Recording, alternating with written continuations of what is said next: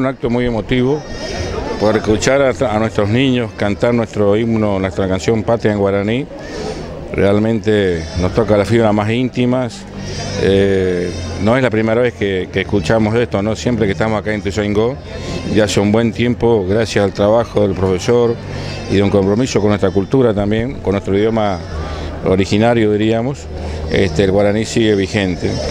Y después el acto en sí de la inauguración de este Instituto de Formación Docente, que indudablemente, tanto en las palabras del señor rector como de la alumna, eh, significan mucho para los pisangueños y también para nosotros, los correntinos y ciudadanos.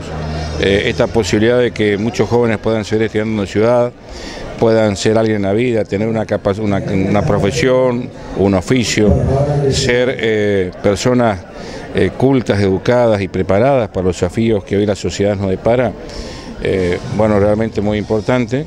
Como decíamos, siete nuevos institutos se han creado en este año, más de 35.000 alumnos estaban estudiando año pasado, así que ahora creemos que vamos a llegar, a, vamos a superar los 40.000 a nivel terciario y el desafío de que el próximo año haya más carreras, más tecnicaturas y Tuzaingó tiene un claro perfil turístico y productivo, forestal fundamentalmente, así que eh, si el desafío viene de las bases, de las comunidades, de los actores de la educación, yo creo que no, nos vamos a equivocar tantos y la fortaleza de este instituto va a ser cada vez mayor. Ahora, gobernador, usted hablaba justamente del guaraní, la importancia, y, y es uno de, las localidades del interior que se destaca en esto de la defensa del guaraní.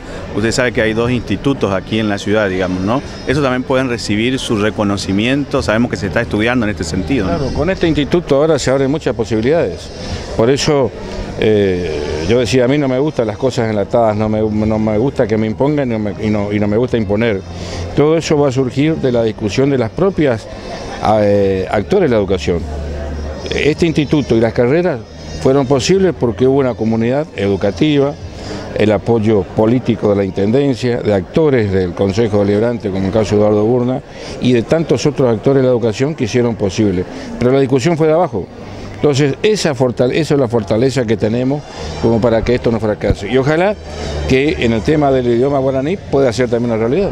Este contacto permanente que tenemos con todos los actores de la comunidad, en este caso la educación, nos permite tener esta visión, nos permite corregir los errores, tener nuevos desafíos. Por eso, esto que hoy se vuelve a poner en marcha aquí en Ituzaingó, ojalá que cada ituzaingueño lo adopte eh, con mucha fuerza, con mucha fortaleza y que no pase lo que pasó 20 años atrás, que lamentablemente se produjo el cierre. Hoy ya es de todos los tuisengueños, así que es responsabilidad de ellos de que esto eh, continúe en el futuro. Estamos totalmente orgullosos, sentimos eh, un placer muy grande el hecho de, estar compartiendo este acontecimiento histórico para la localidad de Ituzaingó, para el departamento de Ituzaingó, la región, inclusive para, mm, para todos aquellos que bueno, fueron posteriormente durante la década del 90 y no, no tenían la posibilidad de seguir estudiando, por lo menos en la localidad de Ituzaingó. ¿no? Y por otro lado, aquellos que se, iban de la localidad con el fin de seguir estudiando,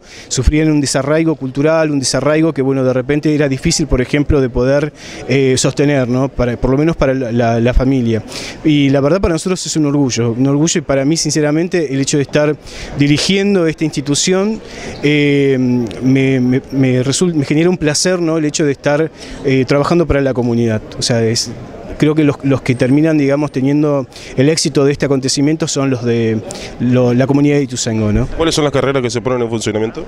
Bien, mira, por el momento nosotros eh, tenemos la, Tecnicatura Superior en Enfermería y por otro lado el profesorado en Educación Tecnológica que es para el nivel inicial, primario y secundario. ¿sí? Por otro lado también seguimos contando con la Tecnicatura Superior en Comunicación Social orientada al desarrollo local y ustedes vieron el, el protagonismo de nuestras alumnas, inclusive conduciendo el, acto de este eh, acontecimiento histórico y por otro lado también eh, la Tecnicatura Superior en Producción Forestal y hemos tenido egresados ya en turismo con orientación en turismo rural.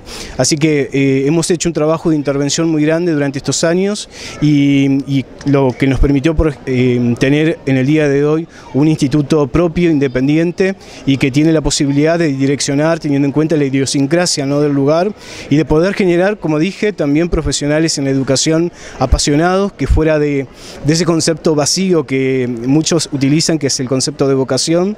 Yo creo que ya la vocación en este contexto no sirve por el hecho de que necesitamos eh, profesionales apasionados. ¿sí? Muchos han dicho que eran eh, profesionales por vocación y han hecho desastre en eh, la educación pública y no de gestión estatal. Entonces, nosotros abogamos al concepto de pasión, el concepto de sentirnos protagonistas, por ejemplo, de nuestro, de nuestro contexto y de ofrecerle ¿no? a nuestros alumnos lo mejor. ¿No? Nosotros, el sistema educativo de la provincia de Corrientes es perfecto en ese sentido y ha ofrecido, por ejemplo, a toda la comunidad tener la posibilidad de seguir estudiando, desde niños a adultos, ¿no? de jóvenes, y el hecho de que se tenga la posibilidad de tener una institución de nivel superior, ¿sí? concepto que también voy a, voy a destacar en este contexto, ya no somos ni siquiera una institución de nivel terciario, somos una institución de nivel superior, una institución que dialoga, que confronta y que puede, digamos, también proponer eh, lógicas de trabajo a las universidades nacionales. Así que nosotros desde este pequeño contexto, nosotros vamos a seguir ofreciendo, vamos a seguir trabajando de la misma manera y con mucha más fuerza para poder seguir, eh, por lo menos capacitando a todos nuestros eh, correntinos. Que tiene contacto con, los jóvenes especialmente, ¿cómo toman ellos la, iniciativa del gobierno provincial de iniciar esta educación superior y de, forma estatal y gratuita también? Es paradójico y gracioso, te voy a contar una anécdota. En el momento que eh, el Papa Francisco salió ¿sí? como eh, o sea, salió como papa, nombrado como papa. Paralelamente a esto, se había anunciado también la creación del instituto. Se ha generado toda una alegría, se ha generado, digamos, la felicidad, una felicidad compartida, donde la comunidad ha sentido que esto eh, le permite proyectar. ¿sí? Hay una felicidad que te permite proyectar, proyectarte, ¿no? Y la comunidad estudiantil, la comunidad del, día a día, ¿no? La verdad está muy orgullosa y está muy feliz de esto. Así que yo creo que eh, han tenido un gesto loable, un gesto que nos permitió, te repito, devolverle esperanza y la alegría a toda una comunidad. Si vos después tenés la posibilidad de dialogar con cualquier eh, eh, representante de nuestra comunidad, vos te vas a dar cuenta que la gente está contenta, está muy feliz de volver a tener la posibilidad de estudiar a la vuelta de la casa.